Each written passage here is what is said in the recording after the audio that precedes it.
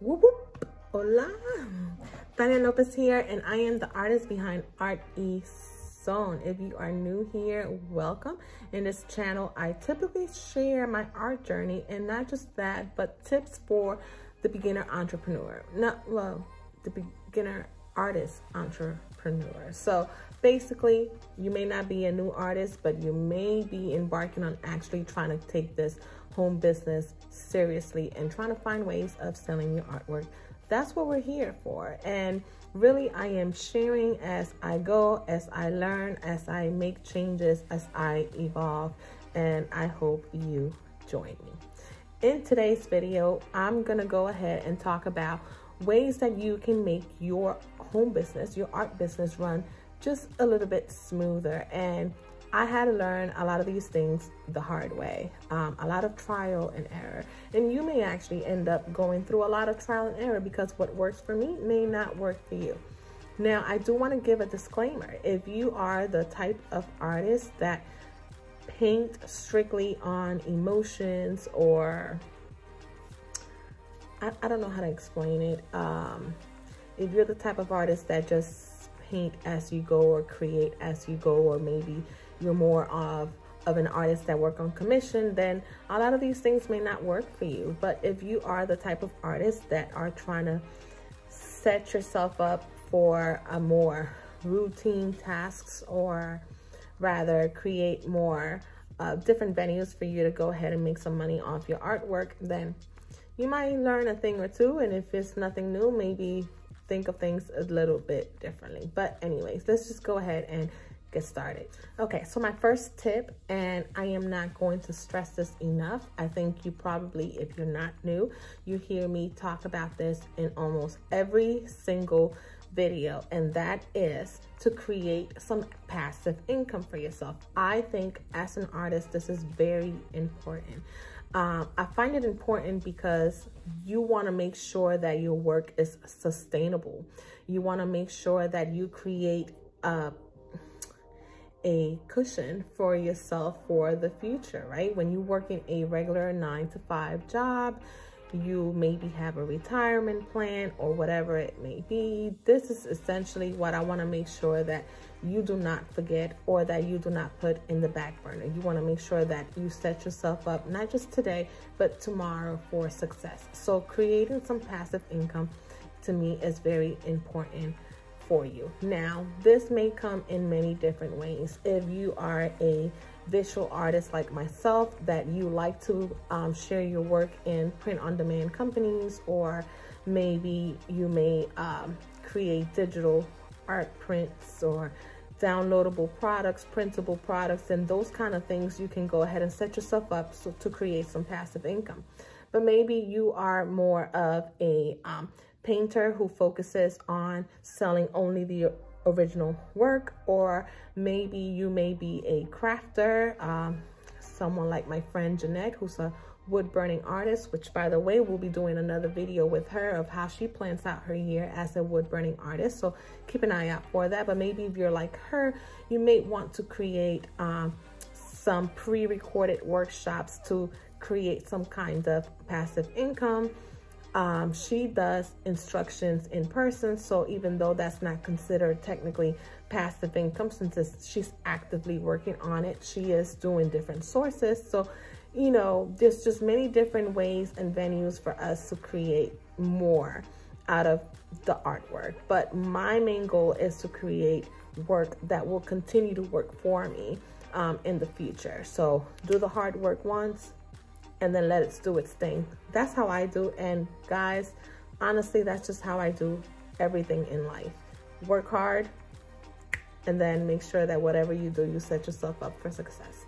So that is tip number one. Tip number two is for you to create in either series or create projects that have multiple uses or multiple purposes. I briefly touched on this on my previous video, which was about planning out your year. So I shared that I made a graph like this, very simple, and I worked by either topics or themes. The example that I gave was my greeting cards. So I uh, decided that I wanted to create some more passive income. The way for me to do the do this is to create some greeting cards that are downloadable. So I do the work once and then I take it from there, do the work, and hopefully it should be able to work for me, right?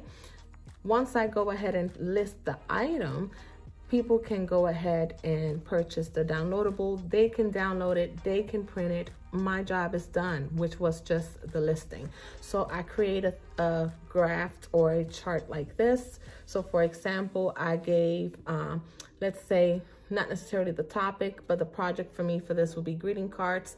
I may do birthday, graduation, Father's Day, whatever, Mother's Day. And so I will create all of the pictures for the greeting cards and take it that way. Or I might go by, let's say season, I might want to do summertime. So what do I want to do for summertime? I may want to create some barbecue invite cards that I can do or just a hello summer sticker or little things like that that would fit under one topic or one project, one series that I can work on it simultaneously.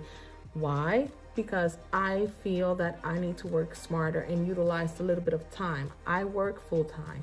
For me, my home business is my part time, and therefore, the time that I do have to work on it, I have to make sure that I work very, very, very smart. And so, um, one of the examples that I gave was one artwork multiple purposes. I have the senorita over here, the graduate. Um, don't mind the card. I'm gonna say this. This is just my test print. So it's not even, but I can go ahead and make this into a sticker if I remove that or maybe a tote or a t-shirt if I add the congratulations I can put it in the greeting card whatever it may be how many things can I make up of one artwork? So that's one way that you can create one artwork with multiple purposes or one theme where I can create multiple artworks that fit that theme and kind of put them together. Um, and that works too when it comes to you sharing it to your social media or sharing it to your website. You can link all of them together so that someone may come in to find a greeting card and they may see something else. So it's just the way that I like to work working in projects, making sure that I optimize that piece of work as much as possible. Number so three, to make your life simpler, I kind of sort of touched touched it a little bit with number two, but that is for you to work in bulks. So the reason why I created the chart is because I wanted to make sure that I can make more pieces or I figured that I would create more pieces that I can use if I work in a series. So um, let's say I want to create a series on um, salsa instruments, right? And with this, I may create one piece with congas. I may create another piece with maracas. I may create another one with a, a I don't know, a timbre, whatever it may be, I can create multiple pieces of work with one theme and I'm working in bulk. But then not only that, when it's time for me to um, take it to the next level or put it on the next step, I'm working in bulk there as well. I used this example in my last video and I'm gonna mention it again, maybe explain it a little bit more efficiently.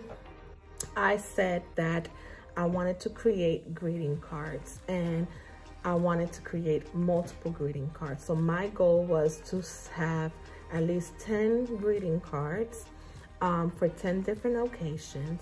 And so I'm gonna start working on these this project. So the main project is greeting cards. I said I'm gonna have birthday card. So again, if you don't know this about me, most of my artwork is Puerto Rican related, so you will see that a lot. uh, but I went ahead and created my drawing that I am thinking is gonna go on my birthday greeting card. I'm not worried about words. I'm not worried about layout. I'm just creating the artwork, okay?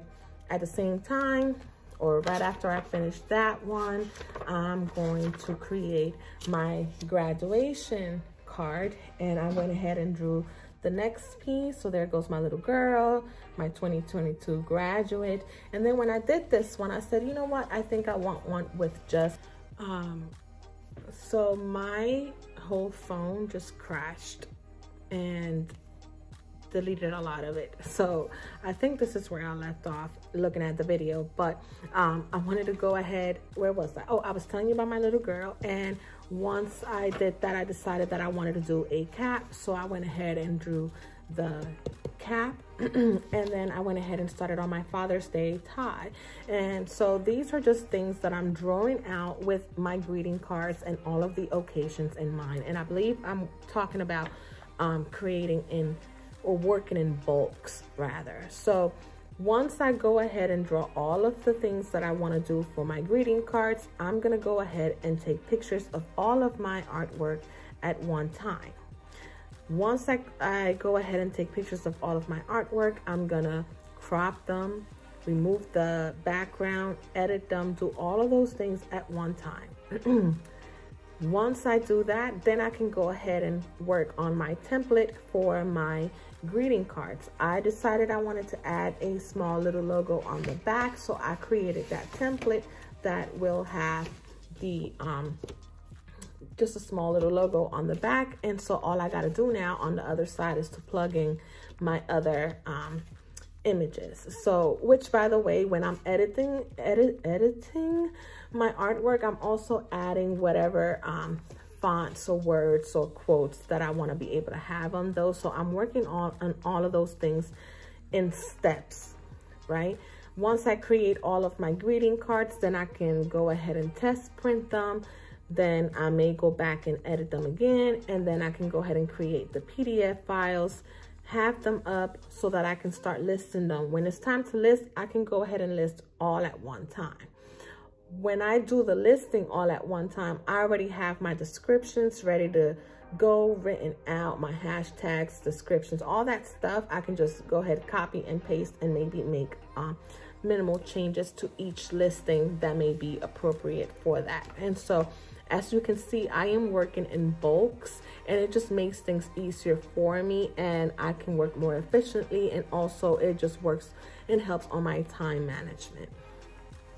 Um, another tip that I just touched on, but I want to go a little bit further into is the same way that you are ensuring that each artwork has multiple pieces, ensuring that you work in bulks. You also want to make sure that all of your social medias are interlinked so that they kind of work together. So for example, I have my website. When I create a listing on my website, it automatically puts it to my Facebook shop. It automatically puts it to my Instagram shop.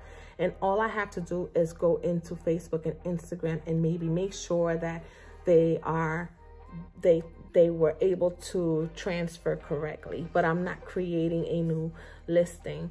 And so now when it comes to um, Etsy, which I also do with my regular website, I wanna make sure that I share those to my Pinterest so that I'm bringing traffic through Pinterest as well.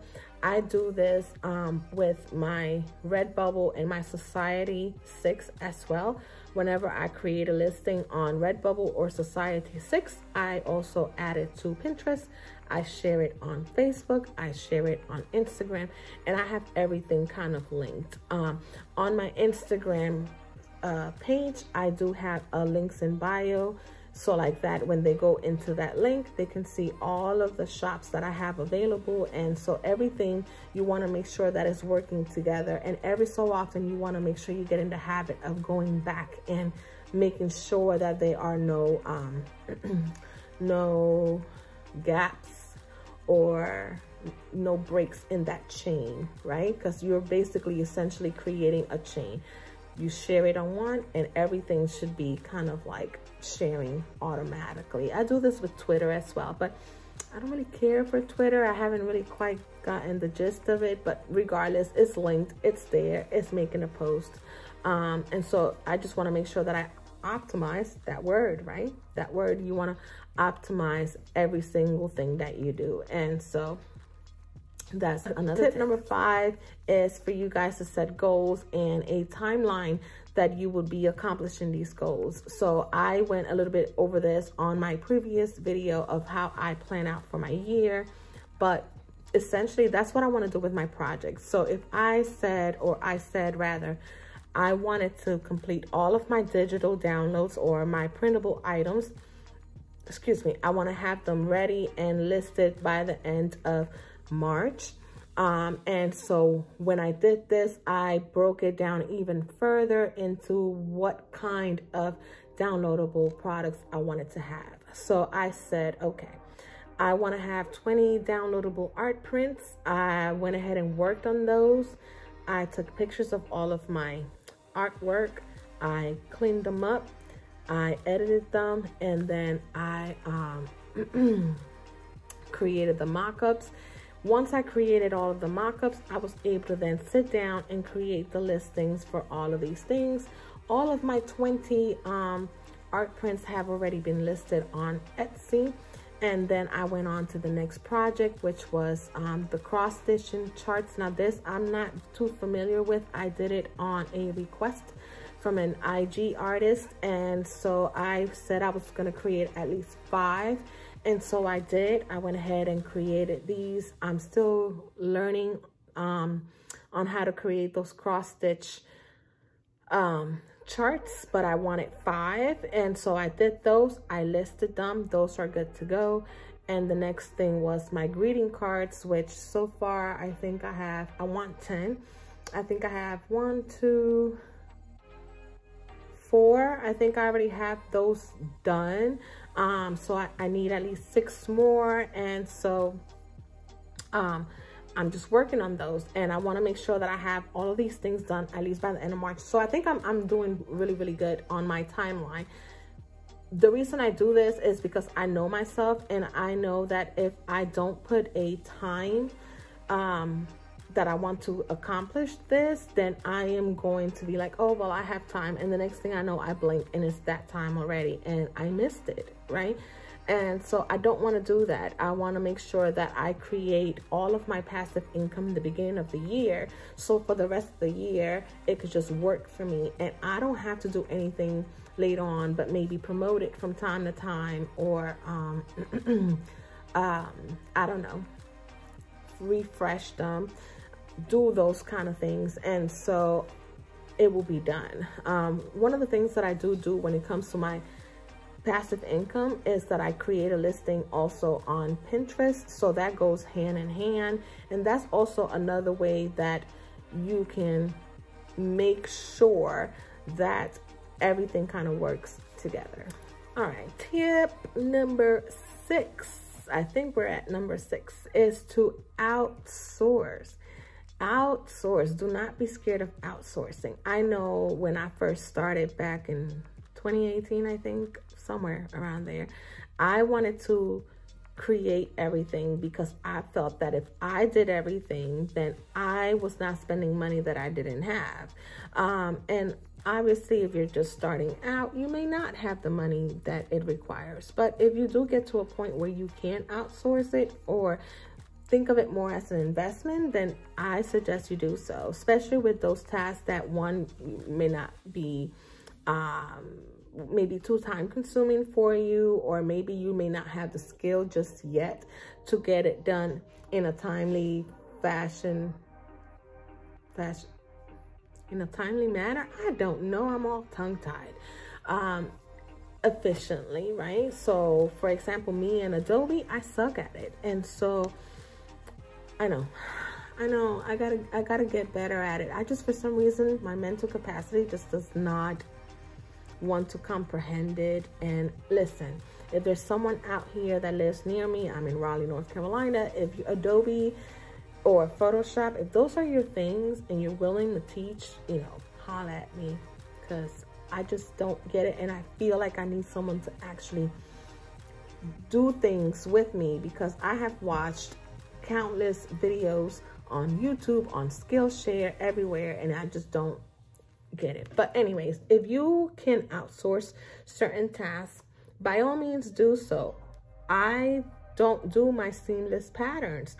I draw it out, I send it off, I pay my money. I'm gonna make that money back, okay? So don't think of it as you're wasting money. You're investing.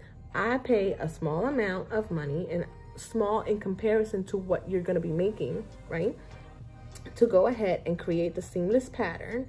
It saved me some headache. It saved me some time, which is the most valuable thing I have and I'm able to get this product in that's professional and it's clean and it's crisp and boom, done. Um, mock-ups, I'm not very good at that because it requires things like Photoshop. I do do small mock-ups for some artworks with apps on my phone, but if I wanted things that are more in-depth, then that's where I would utilize or outsource it so somebody else can just have that headache and do it for me. And so I would suggest and recommend for you to outsource as much as possible. All right, and bonus tip, because I was not gonna talk about it, but I think I should. And this is the way that I do everything in life, not just art, but you know how we don't like a task and we tend to procrastinate? I know I do. I don't like folding clothes, for example. That's like the chore that I hate the most. I will procrastinate. But when it comes to things like this, guys, if it's a task that you like to do least, go ahead and get it done. Get it done and out the way. Example, taxes. I don't mean filing taxes. I mean like making sure that your online shop has all of the taxes per state because I did not know that that was a thing. I thought that it would automatically calculate it and I had to actually go in there and do the research and plug it in and for whatever reason I just had to do it and so I don't like to do that kind of stuff but just go ahead and get it done every so often, for example, beginning of the year, go ahead and go through all your websites, make sure everything's running smoothly, do all of your admin, do all of the taxes, do all of the shipping, make sure that no, maybe the prices went up, you know? So update everything, all of these medial tasks, just get it done. Same thing should happen with your day. If the thing that you like to do least is check your emails, then check your emails early in the morning, get it done, and out the way. It would just make things run by smoother. Um, and so that's my bonus tip, honestly. That's that's it. That's that's all I got. I think you guys got one more than I expected because I added another one in there. But I hope you guys enjoyed this video and that you got something out of it. I'm getting tired of talking, I'm not gonna lie. But I'll see you guys next time. Give me a thumbs up if you enjoyed this video and make sure you subscribe so you can keep a lookout for the next one. Um, the next video. The next video should be with Jeanette. I think I mentioned that already. And if not, it's somewhere in there. Either way, I'll make sure that all of these videos that I'm going to optimize each one of these videos and have a card for you with the next one for you to watch if it's already ready. All right. Otherwise, look in the description. Or maybe I added something in there. Who knows? Bye.